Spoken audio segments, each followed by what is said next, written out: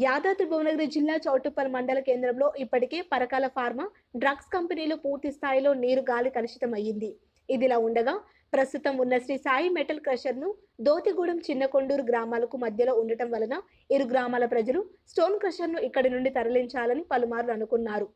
ఇంతలోనే చిన్న కొండూరు గ్రామ రెవెన్యూ పరిధిలోని తొమ్మిది వందల నలభై ఎనిమిది సర్వే నెంబర్లో ఉన్న గుట్టలో ఏడు పాయింట్ యాభై నాలుగు హెక్టార్లలో అదే శ్రీ సాయి మెటల్ ఇండస్ట్రీస్ పేరుతో నూతన క్వారీని ఏర్పాటు చేయాలని రెండు రోజుల క్రితం పర్యావరణ ప్రజాభిప్రాయ స్వీకరణ ఏర్పాటు చేశారు. ఇది చూసిన గ్రామ ప్రజలు కంగుతిన్నారు ప్రజాభిప్రాయ స్వీకరణలో పెద్ద ఎత్తున గ్రామస్తుల నుండి వ్యతిరేకత వెలువడింది. కొంతమంది గ్రామస్తులు మాట్లాడుతూ ఇప్పటికే ఫార్మా కంపెనీల వల్ల విచిత్రమైన వ్యాధులు వస్తున్నాయని కొత్తగా మళ్ళీ క్రషర్ ఏర్పాటు కావడం వల్ల గ్రామమంతా దుమ్ము ధూళితో నిండిపోతుందని మనుషుల్లో శ్వాస చర్మ కంటి సంబంధిత వ్యాధులు వచ్చే అవకాశం పుష్కలంగా ఉంటుందని అన్నారు.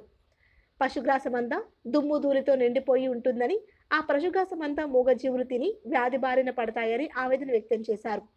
తెలంగాణ రాష్ట్ర కాలుష్య నియంత్రణ మండలి వారు నూతనంగా ఏర్పాటు చేసి శ్రీ సాయి మెటల్ ఇండస్ట్రీ వారికి అనుమతులు ఇవ్వకుండా గ్రామ ప్రజలను కాపాడాలని ప్రభుత్వాన్ని వేడుకుంటున్నారు.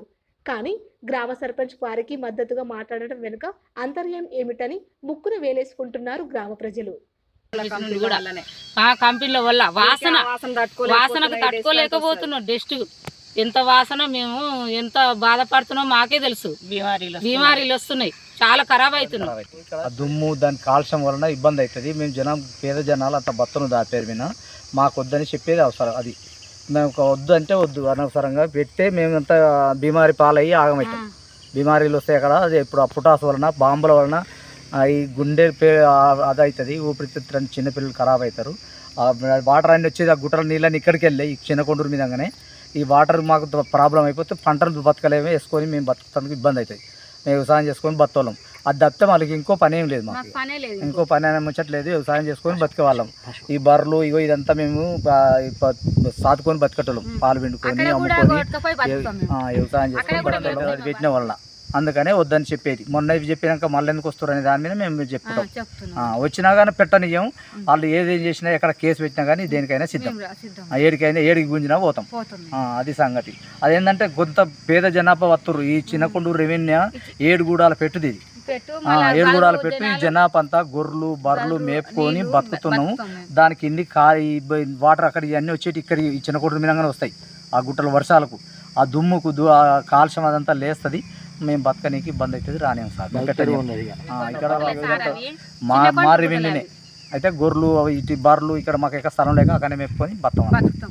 అదే ఎవరైనా దీనికి పర్మిషన్ ఇవ్వద్దు కేసీఆర్ అయినా హరీష్ రావు అయినా అక్కడ పోతే నరేంద్ర మోడీ అయినా ఎవరైనా దీనికి పర్మిషన్ ఇవ్వకూడదు. మేము అంతక మా బతుకులు ఆగమైతే దీన్ని ఒకవేళ ఇది వేసింది అనుకో మా ఊరు ఊరికే లేచే కన్నా పోవాల్సి వస్తుంది. మేము. మాకు ఇబ్బందులు అవుతాయి సార్. మేము ఇంకో బతకడానికి ఇక దీనికి తప్ప ఇంకో అవకాశం లేదు. పేద రైతులం సార్. ఆ, పేద విధ కొద్దిగా ఇగో ఈ బర్రెలను ఇది ఇది చేసుకొని బతుకుతాం బర్రెలు గొర్రెలు ఇట్లా చాదుకొని అక్కడ గుట్టలు గుట్టకపోతే బతుకుతాం. అది తప్ప ఇంకోటి ఉపాధి కల్ప కల్పించాలని కోరుతున్నాము. గ్రామాభివృద్ధి సహాయం గ్రామాభివృద్ధికి సహాయం చేయాలని కోరుతున్నాము. చెట్లు పెంచాలని మరియు మా ప్రాంతాన్ని తగిన చర్యలు తీసుకోవాలని పొల్యూషన్ బోర్డు వారిని కోరుకుంటున్నాము. పర్యావరణ అనుమతులకు లోబడి తమ కార్యకలాపాలను చేసుకోవాలని మా అభిప్రాయం. కాలుష్య నివారణకు మీరు ముందు ఉంటారని యాజమాన్యాన్ని కోరుకుంటున్నాము.